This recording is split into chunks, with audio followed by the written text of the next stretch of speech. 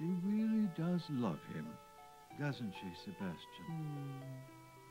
Well, it's like I always say, Your Majesty.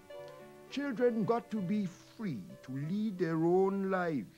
You always say that? Hmm. oh. Then I guess there's just one problem left. And what's that, Your Majesty? How much I'm going to miss her.